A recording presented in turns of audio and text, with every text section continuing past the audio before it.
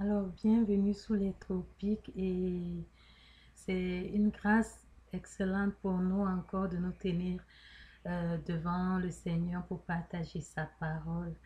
Avant toute chose, euh, comme euh, nous en avons pris l'habitude, nous allons nous recommander entre les mains de Dieu afin qu'il prenne contrôle et qu'il nous dirige dans cette merveilleuse méditation que nous aurons ensemble. Seigneur, nous te louons, nous te rendons gloire pour ce moment, ô Dieu, où tu fais euh, pause pour venir nous visiter. Merci, oh Dieu, pour cette merveilleuse parole que tu vas nous donner. Prépare mon cœur, le cœur de mon frère et de ma soeur.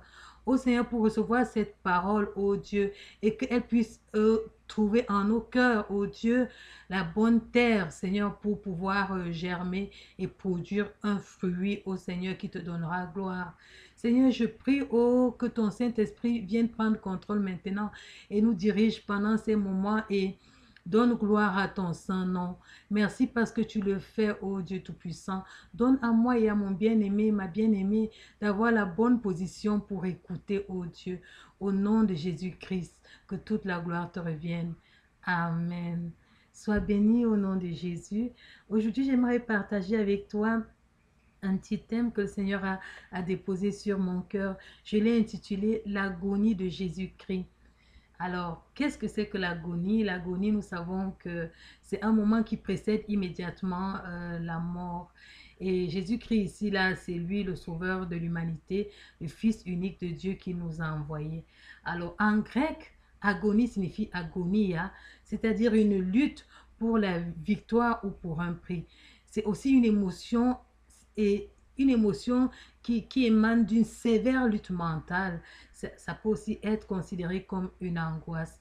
Alors, toute chose peut agoniser. Les êtres humains agonisent, les animaux agonisent, euh, la terre peut agoniser aussi, ou bien euh, les mers. Mais sauf qu'il y a une très grande différence entre toutes ces choses-là c'est que l'être humain est doté euh, d'une conscience et pendant son agonie, il peut raisonner, il peut parler, il peut dire des choses qui semblent parfois incompréhensibles ou insaisissables pour ceux-là qui lui sont proches. Et pour le comprendre, nous allons voir euh, les formes d'agonie euh, de Jésus-Christ, qui est le Fils unique de Dieu. Pour cela, je me suis inspirée euh, d'un texte de base qui est, tiré du livre de Luc au chapitre 22, verset 44. Il est écrit, étant en agonie, il priait plus instamment et sa sueur devint comme des plumeaux de sang qui tombaient à terre. Alors, le, il ici se réfère à Jésus-Christ. Alors, qu'est-ce qui se passe? Nous savons que Jésus-Christ a été envoyé sur la terre par Dieu pour une mission, celle de sauver toute l'humanité. Et ce Jésus-là, à 33 ans, il sentait sa mort venir. Il, avait toutes les révélations, toutes les charges que Dieu lui avait données. Et il est reparti devant son Père. Et cela s'est passé au mont Olivier. Il est allé pour aller rendre compte à Dieu, pour s'assurer que sa mission est effectivement atteinte, pour avoir une dernière conversation avec son Dieu dans l'intimité. Et pendant ces moments donc, où il était à, sur le mont Olivier, il était en proie à une lutte intérieure. Et cette lutte intérieure, c'était un peu entre payer le prix pour l'accomplissement de sa mission, c'est-à-dire la mort physique et atroce, et la réussite de cette mission-là. Et, et, et, les émotions qu'il sentait, parce qu'il savait ce que c'est que cette mort à quel, auquel il était exposé devait euh, causer dans son corps. Donc il y avait cette bagarre-là en lui entre la mission à accomplir, euh, le plan céleste de Dieu et sa chair qui est en train de, de s'émouvoir. Donc, euh, il va donc devant son père pour essayer de ranger les comptes, pour faire le bilan avec lui. Et c'est là que nous avons tiré dans ce passage. Nous allons donc voir maintenant plus concrètement euh, l'agonie de Jésus-Christ, comment ça se passe. Nous allons le voir en trois étapes, l'agonie mentale, l'agonie spirituelle et l'agonie physique. Alors, sur le plan de l'agonie mentale, nous voyons dans le livre de Luc au chapitre 22, verset 30, à partir du verset 39, que Jésus-Christ est sorti, comme on a accoutumé, pour aller à la montagne des Oliviers et il a été suivi de ses disciples. Lorsqu'il est arrivé dans ces lieux, il a, dit, il a exhorté ses disciples à prier afin qu'ils ne tombent pas en tentation. Au verset 41, il nous a dit qu'il s'est éloigné à une distance d'un jet de pierre et s'est mis à genoux et il a prié en disant Père, si tu voulais éloigner de moi cette coupe, toutefois, que ma, ma volonté ne se fasse pas, mais la tienne. Alors un ange lui apparut du ciel pour le fortifier. Et étant en agonie, il priait puis instamment, et sa sueur devint comme des grumeaux de sang qui tombaient à terre. Et après avoir prié, il se leva et revint vers ses disciples qui trouvaient, qui trouva endormis de tristesse. Voilà sur le plan, euh, sur le plan euh, mental ce qui va se passer. Donc Jésus va, il se met à prier et il parle à son Père parce que c'est vraiment, c'est une lutte, c'est une lutte intérieure et il voit que la coupe est vraiment lourde, le prix à payer est vraiment lourd. Alors, sur le plan physique, nous savons tous que après ces moments de prière, Jésus a été euh, livré à ses ennemis qui, l'ont jugé et qui ont décidé de sa mort. Et là, il a été cloué sur une croix. Voilà, nous voyons l'agonie physique parce que le corps va maintenant mourir et il est transpercé d'un côté, euh, des deux côtés de ses mains. Euh, on enfonce des clous et il a soif, on lui donne pas à boire. Et nous, avons toute cette description là dans le livre de Jean 19 euh, à partir du verset 27. Euh, nous voyons aussi Jésus-Christ qui demande à boire, on lui donne plutôt du vinaigre au verset 30. Et dans la crainte que les corps ne se retassent sur la croix pendant le sabbat, alors on a commencé à vérifier s'ils étaient encore vivants et tout et tout. Puis Jésus-Christ euh, va mourir d'une mort euh, atroce sur la croix de Golgotha comme un voleur. Voilà sur le plan physique. Il a traversé cette étape-là, il a été crucifié, il était là pendu sur la croix et, jusqu'à ce que euh, son corps, il meure, il rende l'âme à son Père comme il a lui-même dit. Père, je te, rends mon âme. Et sur le plan spirituel, il y a toute une autre euh, vérité cachée qui se dégage de cette agonie-là. Dans le livre de Jean au chapitre 17, euh, euh, nous, voyons, nous, voyons Jésus, nous, voyons Jésus sur la croix et il dit, je ne suis plus dans le monde, ils sont dans le monde, je vais à toi, Père. Saint, garde à ton nom ce que tu m'as donné, afin qu'ils soient comme nous. Lorsque j'étais avec eux dans le monde, je les gardais en ton nom. J'ai gardé ce que tu m'as donné et aucun d'eux ne s'est perdu, sinon le Fils de la perdition, afin que l'écriture fût accomplie. Et maintenant je vais à toi et je dis ces choses dans le monde, afin qu'il ait en eux ma joie parfaite. Je leur ai donné ta parole et le monde les a haïs parce qu'ils ne sont pas du monde comme moi je ne suis pas du monde. Je ne te prie pas de les ôter du monde, mais de les préserver du mal. Ils ne sont pas du monde comme moi je suis pas du monde. Sanctifie-leur par ta vérité, car ta parole est la vérité. Voilà Jésus-Christ qui est en train de parler à son papa à un moment vraiment crucial de sa vie où il fait un compte sur le plan spirituel quel est l'impact de sa, de, de, sa venue et quel est l'impact de sa mission? Il rend compte à Dieu, voilà, j'ai gardé les, les, enfants que tu m'as donnés, je les ai gardés. Préserve-les aussi. Moi, je suis en train de rentrer vers toi. Mais je les dis sur terre afin qu'ils sachent que effectivement, ce que je, je, suis là pour accomplir une mission. Voilà tout le plan spirituel qui est révélé, le plan de la mission spirituelle de Jésus qui est révélé en ce, à ce niveau-là. Et pendant son agonie, donc, il rend ces comptes-là à Dieu.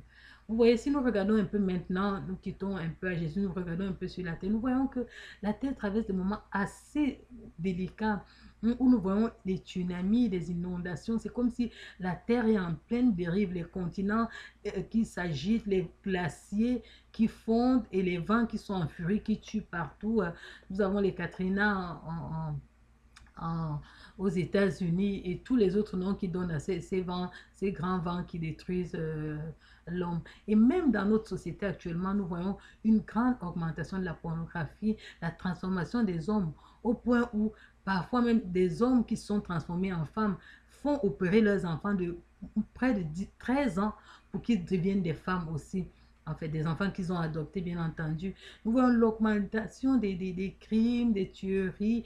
Nous voyons vraiment comment il y a, euh, une, autre forme de colonisation où les gens peuvent planifier, euh, de, doter des chefs d'État dans leur, dans leur fonction et d'en installer d'autres. Nous voyons une augmentation de la débauche. Et ces choses-là sont des signes précurseurs que Jésus-Christ nous a donnés pour savoir que les temps de la fin arrivent. Et il nous montre, on voit aussi que les hommes sont presque enflammés à des désirs contre nature.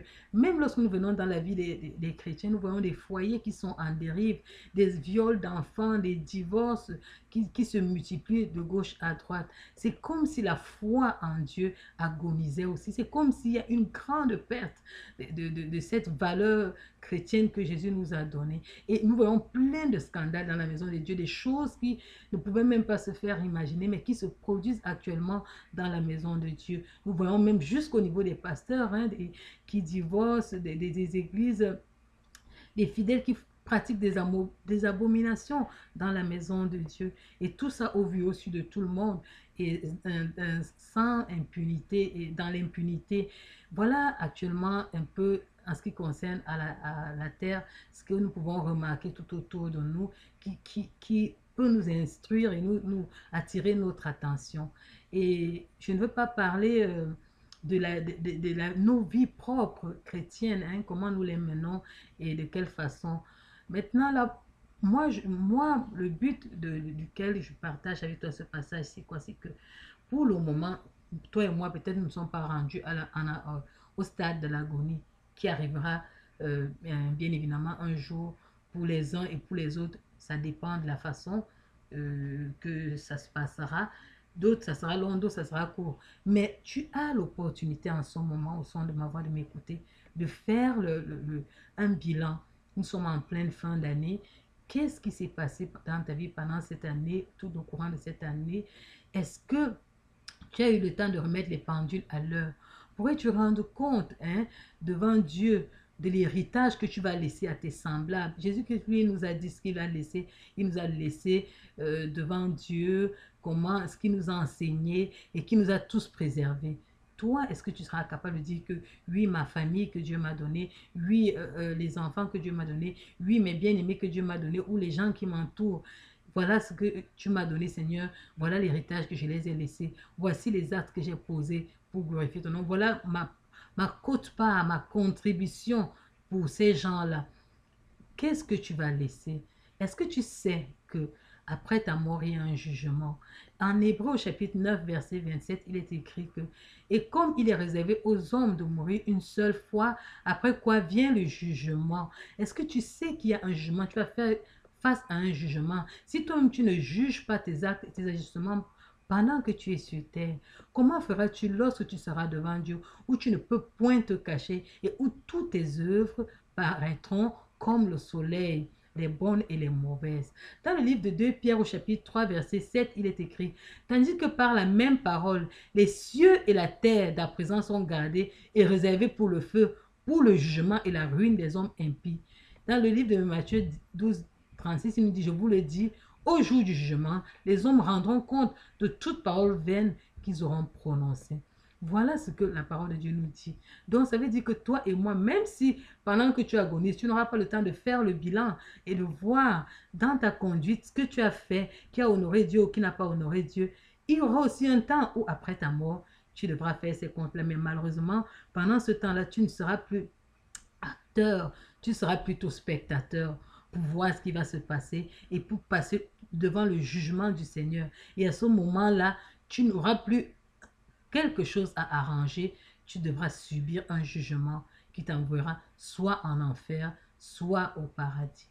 Pendant que nous sommes encore sur terre, pendant que tu es conscient, pendant que tu peux m'écouter, pendant que tu peux changer ta conduite, voici le moment bien-aimé où je t'interpelle, où le Seigneur t'interpelle au travers de ma voix pour te dire change de conduite, fais le bilan, Regarde, examine-toi toi-même. Tu as l'occasion maintenant de te juger. Toi, personne ne te juge toi-même. Tu as l'Esprit de Dieu en toi. Tu as ta conscience en toi. Peut-être ton conscience est déjà euh, euh, affinée. Mais je te dis qu'il y a la parole de Dieu qui est là, qui est vraie, qui est vérité et qui peut t'enseigner auprès de laquelle tu peux te mirer chaque jour pour changer de conduite. Je t'interpelle afin que cette parole-là que tu as entendue, cette parole que tu lis chaque jour, n'entre pas et ne sort sans accomplir le but pour lequel elle a été envoyée dans ta vie. Mais que cette parole qui vient dans ta vie apporte un changement afin que lorsque tu seras en agonie, ton bilan puisse être aussi positif que celui du Seigneur. Nous avons une autre personne qui a fait un bilan aussi merveilleux. C'est l'apôtre Paul. Il a dit qu'il a couru le bon combat de la foi et il va maintenant pour recevoir la couronne qui, qui lui est réservée au ciel. Il y a Étienne aussi qui, quand il était en train d'agoniser, a vu Dieu assis dans sa gloire Est-ce que lorsque toi, ces moments-là vont arriver, tu pourras voir Dieu assis dans sa gloire? Est-ce que lorsque ces moments-là vont arriver dans ta vie, tu pourras témoigner comme ces personnes-là que j'ai combattu le bon combat de la foi. Maintenant, je vais vers mon Père et recevoir la coupe qui m'est réservée. Voilà mon interpellation pour toi en cette journée. Voilà le message que je t'apporte en cette journée. Mon frère, ma soeur, il n'est pas tard. Nous pouvons faire le bilan dans nos vies et choisir de changer de conduite et choisir de marcher en honnêteté de vie et choisir Jésus-Christ qui est la vie et qui nous donne la vie, pas seulement sur terre, mais la vie éternelle, accorder d'autres bénédictions. Nous n'allons pas venir juste seulement pour les bénédictions, mais parce que cela est un devoir et cela il va de notre vie sur la terre et après la vie sur terre, parce qu'il y a un jugement qui arrive et nous pourrons hériter soit de la, vie éternelle, soit de l'enfer. Voilà le petit message que j'avais avec pour toi aujourd'hui. Voilà ce qui ressort de ma méditation sur l'agonie de Jésus-Christ euh, sur le monde des oliviers. Jésus-Christ est parti. Il nous a laissé cette parole, toi et moi. Qu'est-ce que nous faisons de cette parole? Est-ce que nous allons suivre Jésus-Christ, faire le bilan en cette fin d'année et décider de changer, marcher en honnêteté de vie ou bien allons-nous continuer dans notre vaine conduite? Telle est la question que nous devons nous poser. Examine-toi tout au long de l'année. Qu'est-ce que tu as fait? Dieu a mis en toi plein de talents. Dieu a mis en toi sa parole. Est-ce que tu la partages? Quel est l'héritage que tu vas laisser à tes enfants? Quel est le testament que tu vas laisser à ceux-là qui te sont proches? Que mon Dieu te bénisse. Nous allons prier. Père, je te loue, je te rends gloire pour cette parole que tu m'as donnée à moi et à mes bien-aimés. Je prie, ô mon Dieu, mon roi, afin que cette parole apporte la vie et la lumière, la clarté dans nos vies, Seigneur. Je prie, oh Dieu Tout-Puissant, que cette parole aille, oh Dieu, toucher les fondements, secouer, ébranler et briser les fondements, oh Dieu malsains qui sont établis dans nos vies, afin d'établir la vérité qui est Christ. Je prie afin que cette parole, oh Dieu, apporte un renouvellement dans notre être, oh Dieu, dans nos pensées, dans nos cœurs, dans nos agissements, oh Dieu, et dans notre vie spirituelle, afin que nous nous approchions davantage de toi, afin que nous intimité, oh Dieu, avec toi aille grandissante. Bénis-moi, bénis mon frère et ma soeur, Seigneur. Aie pitié de nous. Fais-nous trouver grâce à tes yeux, afin que cette parole, oh Dieu Tout-Puissant, soit vie, vérité et transformatrice dans nos vies. Merci, Seigneur, parce que tu vas le faire. Que toute la gloire te revienne. Au nom de Jésus-Christ, j'ai prié. Amen. Sois béni au nom de Jésus-Christ et que véritablement ces paroles sur l'agonie apportent la vie à ton âme, apportent la vie à, ton intimité avec Jésus, apportent la vie à ta foi en Christ. Sois béni au nom de Jésus-Christ. Amen.